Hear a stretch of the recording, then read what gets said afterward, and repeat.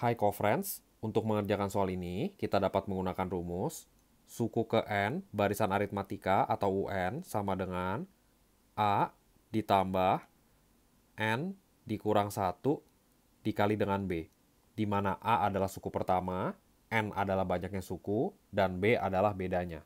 Selanjutnya, dari soal disebutkan, suatu barisan aritmatika dengan suku keempat adalah 11, artinya dapat kita tulis U4 sama dengan 11, lalu suku ke-6 adalah 17, maka U6 sama dengan 17. Yang ditanya adalah beda barisan tersebut. Maka kita dapat menggunakan metode eliminasi untuk mencari beda barisan aritmatika tersebut. Pertama, caranya adalah U4 kita masukkan ke dalam rumus menjadi A ditambah dengan N-nya adalah 4 dikurang dengan 1, hasilnya adalah 3, lalu dikali B sama dengan 11.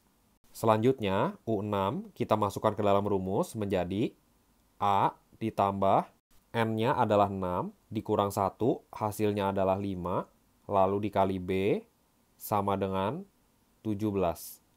Lalu, kita kurangkan kedua persamaan ini agar A-nya tereliminasi. Sehingga menjadi A dikurang A hasilnya adalah 0, maka tidak perlu ditulis. Lalu 3B dikurang 5B hasilnya adalah minus 2B sama dengan 11 dikurang 17 hasilnya adalah minus 6. Lalu kedua ruas kita bagi dengan minus 2 maka didapatkan B atau bedanya yaitu sama dengan 3.